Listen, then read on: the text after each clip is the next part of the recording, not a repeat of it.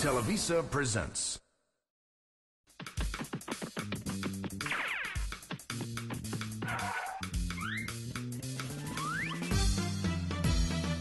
This is Chavo's neighborhood where crazy dreams they do come true. Chavo is misunderstood, but not by me or you.